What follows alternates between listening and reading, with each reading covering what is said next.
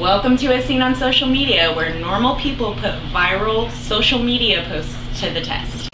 Hey guys, welcome back. So a year ago, we did a video where we tested out will a will Coke dissolve a nail in four days. And at the end of that video, we decided to go ahead and leave the nail in the Coke for a year with the promise that we would uh, come back in a year and see what the effects of the Coke was. I gotta admit it wasn't one of our best videos. It only got a few thousand views, but here it is. We left the nail in the Coke for over a year. It's been a year and 12 days, I believe. And uh, it's still in there.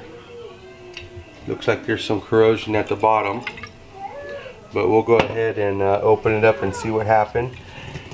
Oh shit. oh crap. Um,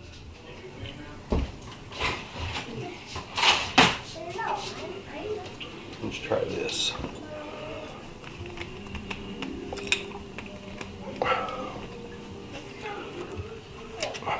Did you get it? Yeah, I got it. it was on there and there was a little bit of a sound. so it it stinks.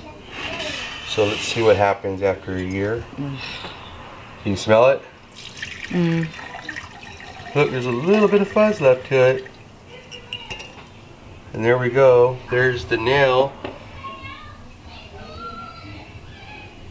So there's the nail.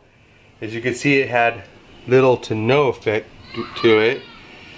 And uh, I mean, a little bit of corrosion there, maybe a little bit of oxidation, not much. Mm. Um, but basically, Wait, cut it for one second. Let me go take care of my kid. I'll be right. Okay. okay. So we're back. Daddy's took care the man. My, took care of my kid, and this is the nail. As you could tell, it had little to no effect on it whatsoever. Pretty much dissolves the claim that Coke will do too much to anything. And uh, once again, I just want to thank everybody for watching. Uh, make sure to check us out on Facebook.